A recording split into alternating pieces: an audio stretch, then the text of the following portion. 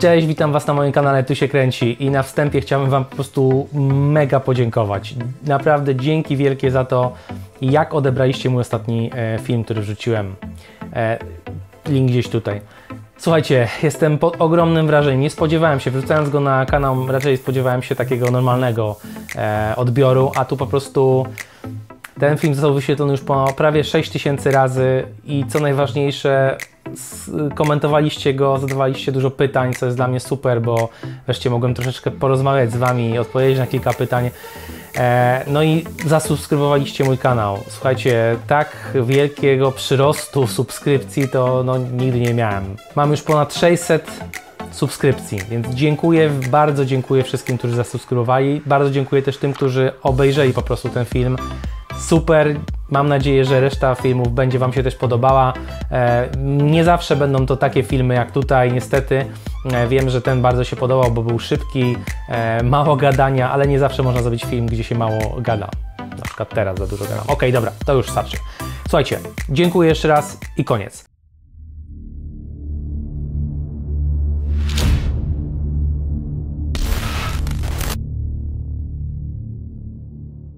Ostatnio podobało Wam się to, że mówiłem mało e, i krótko, więc dlatego dzisiaj będę się starał też streszczać. O czym będziemy rozmawiali? Filtry ND, czyli filtry naturalne szare. Ja tu mam taki filtr firmy Hoya. Jak widzicie, on ma, e, możemy przekręcać i go przyciemniać lub rozjaśniać. Po co jest nam taki filtr? Żeby ograniczyć ilość światła wpadanego do e, obiektywu. E, po prostu przy fotografii takie filtry są wykorzystane, żeby na przykład rozmywać wodę, nie wiem, e, chmury albo nie wiem, rozmywać na przykład ludzi. E, natomiast w przypadku e, filmowania jest on bardzo potrzebny, jeżeli chcemy uzyskać taki filmowy look. Jeżeli chcesz wznieść się na trochę wyższy poziom filmowania, filtry ND, czyli filtry naturalne szare są niezbędne. Naprawdę, ja sam jestem zdziwiony, że wcześniej funkcjonowałem bez takiego filtra. Jeżeli chcemy osiągnąć filmowy look, to po pierwsze A, musimy nagrywać w 24 albo 25 klatkach na sekundę i B, czas otwarcia migawki powinien być dwukrotnie wyższy od, od naszej ilości klatek. Czyli jeżeli nagramy w 25 klatkach, to powinno być 1,50. Oczywiście możemy jeszcze zmienić przysłonę, ale im y, przysłonę zrobimy wyższą, czyli przyciemnimy, zmniejszymy otwór względny, tym nasze tło będzie mniej, mniej e, rozmyte, a bardziej ostre. Wtedy też ten filmowy wygląd możemy gdzieś stracić. Jeżeli na nas chcemy, żeby tło było rozmazane i chcemy nagrywać w 25 klatkach na sekundę, czyli 1,50, to wtedy właśnie z pomocą przychodzi nam taki filtr. Jeżeli są zbyt mocne e, zbyt mocne światło, jakieś na przykład warunki nagrywacie e, e, w, w południe, gdzie słońce jest wysoko i bardzo ostre, wtedy taki filtr jest wręcz niezbędny. Naprawdę jest to super sprawa, świetnie się sprawdza i polecam. Jedynym minusem to jest to, tych filtrów, że one są nakręcane na obiektyw, ten ma 72 mm, jest on do takiego obiektywu Sony ja go dokupiłem 18-105, ale by móc go wykorzystać do mojej Sigmy, która ma 52 mm, dokupiłem taki pierścień redukcyjny, nakręcamy na ten pierścień redukcyjny i z tym pierścieniem nakręcamy na obiektyw.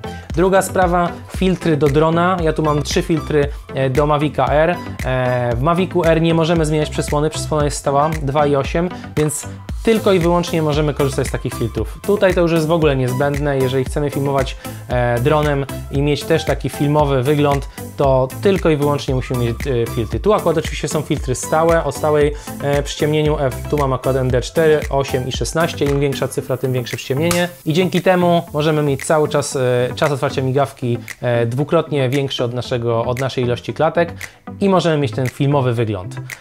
Słuchajcie, to wszystko. Dziękuję Wam bardzo. Wiem, że ten odcinek odbiega strasznie od tego, co było ostatnio, ale obiecuję Wam, że już za tydzień będzie odcinek, który będzie dosyć podobny do tego, który widzieliście tydzień temu.